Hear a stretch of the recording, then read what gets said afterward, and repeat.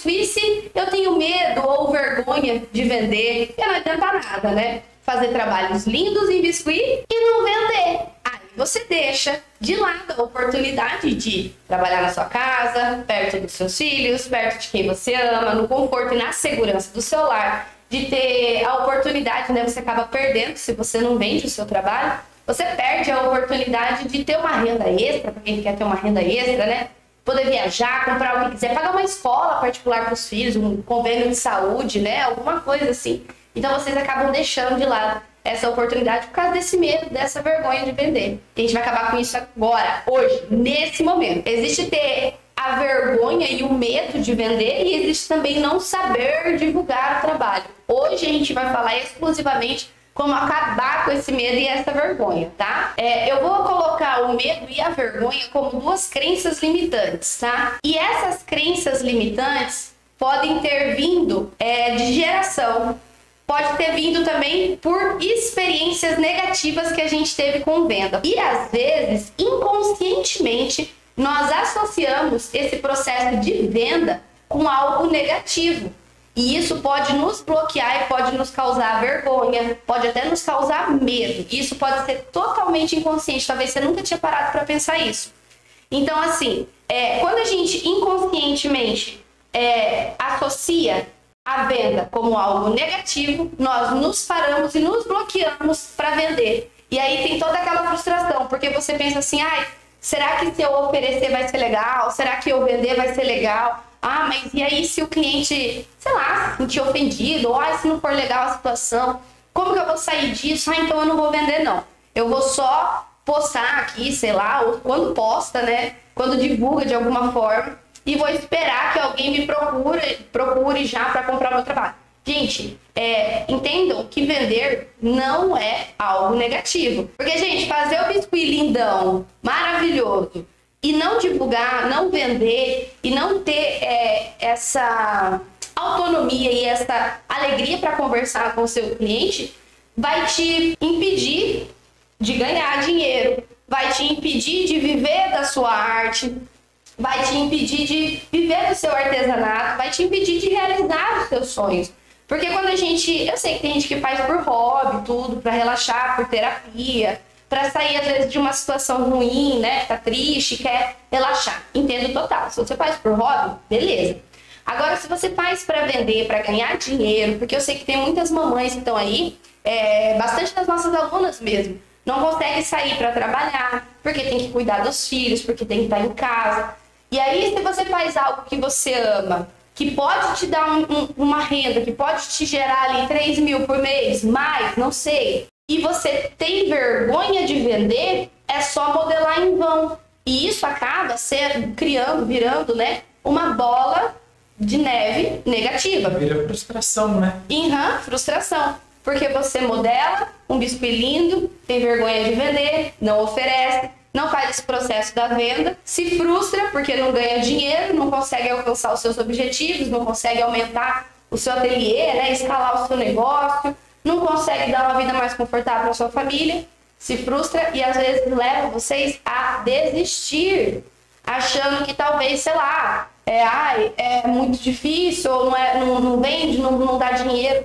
Mas na verdade, talvez esse seja um ponto crucial que você não está fazendo tá? Então, assim, não vamos deixar essa crença limitante que, que a venda é algo negativo atrapalhar a realização dos seus sonhos, atrapalhar a realização da sua independência financeira, da sua vida mais confortável. Vocês têm que entender que a venda pode ter um lado muito, muito positivo, tá?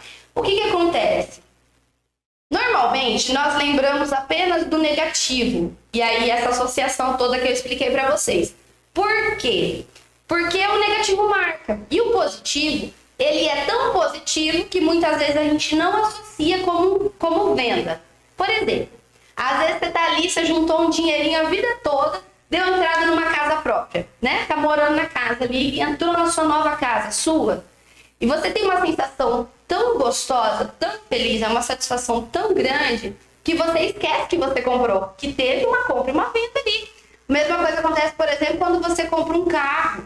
Você esquece, às vezes, que você teve esse processo de compra e venda e você passou por isso, teve um vendedor te oferecendo aquele carro, porque é algo tão satisfatório, é tão bom, que você esquece que aquilo foi uma venda. É, por exemplo, você tem que ter muita gente que está começando no biscuit. E aí você consegue comprar todas as ferramentas que você precisa ali, ou aquelas coisas que você deseja para colocar no seu ateliê. E é tão satisfatório, é tão gostoso, que você esquece que aquilo é uma venda. Às vezes um, um, um vendedor te faz algo tão bom, te vende um produto tão bom que transforma a sua vida, que você fala assim, puxa, por que, que eu não, não conheci isso antes? E aí você esquece que isso é venda. Pensando no lado positivo e focando no lado positivo, esquecendo a crença de que venda é negativa, a gente consegue passar isso também para o nosso cliente. Nós temos que entender que quando a gente faz, um, por exemplo, um biscoito personalizado, a gente está realizando um sonho, a gente está fazendo parte daquele momento. Ó, vou dar um exemplo para vocês. Uh, tem a debutante ali, vai fazer 15 anos, e a família toda está se organizando para fazer uma festa para ela. E aí, eles te procuram, sei lá, ou eles procuram alguém para fazer uma escultura dela para colocar em cima do bolo personalizado, para fazer parte desse momento, para eternizar aquele momento da debutante aquilo é muito positivo. É uma data que nunca mais vai voltar. É um momento único. Então, assim, participar desse momento único é algo muito positivo. Vou dar outro exemplo para vocês. Noivos, quando as pessoas casam, é um momento único. Ninguém casa pensando em divórcio. Então, assim, você está participando daquele momento com é um momento de muito amor, é um momento de celebração, é um momento que as pessoas querem eternizar. Então, fazer parte desse momento é algo muito especial. Porque a gente vai ter vergonha de oferecer essa oportunidade para as pessoas? Ou por que, que a gente vai ter vergonha de aceitar um, um, um trabalho?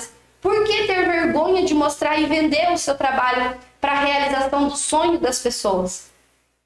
Entende, entende como que um, uma venda pode ser muito positiva? ela pode suprir uma necessidade, ela pode ajudar uma pessoa que está precisando do seu trabalho ali. E por que isso é ruim?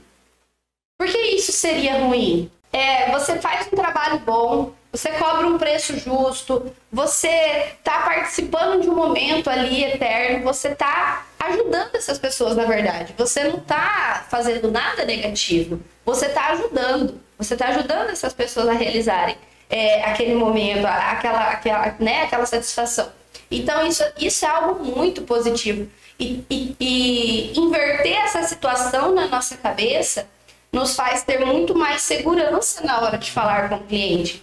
Porque você não fica na, naquela sensação assim, ai meu Deus, sabe? Tô vendendo. Não, entenda que você está vendendo para ajudar aquela pessoa de alguma forma. Venda não é só quando acontece troca por valor monetário. Uhum. Venda é sempre quando você faz algo e tem algo em troca, é venda, independente de ser dinheiro ou não. Uhum. Quando você tem um, sei lá, você tem um cachorro. E aí seu cachorro deu um monte de filhotinho lá, né? Essa cachorrinha deu um monte de filhotinho.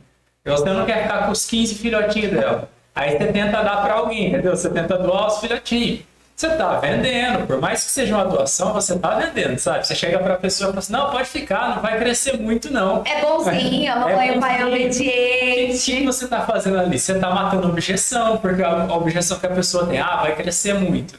Entendeu? Uhum. Ah, mas vai dar muito trabalho. Não, mas essa raça de cachorro aqui não dá trabalho. Ó, você tá matando a objeção, entendeu? Uhum. Você, e aí você começa a exaltar os benefícios dela ter um cachorrinho. Fala assim, ó, o cachorrinho vai te fazer companhia. Segurança. Olha só, o cachorrinho vai cuidar da sua casa, entendeu? Então você começa a exaltar os benefícios dela ter o um cachorrinho. Ou seja, você tá vendendo alguma Gente, o tempo todo a gente tá nesse, né, nessa, nesse processo, eu vou dizer assim, de compra e venda. Quando a gente tá, vai no mercado, compra e venda. Quando você vai numa loja comprar uma roupa, quando você vai comprar seu material para fazer biscuit, quando você quer decorar a sua casa, quando você vai numa farmácia, o tempo todo a gente está fazendo esse processo de compra e venda. Quando você vai numa entrevista de emprego, é uma venda. Você está ah, se vendendo venda do quê? Venda, do quê? Venda da sua imagem. É... Você começa, você mostra o seu currículo, você mostra no que você é bom. É. Para quem é professor, quando você está dando aula, você vende ali, o- além de vender o seu tempo para ganhar dinheiro,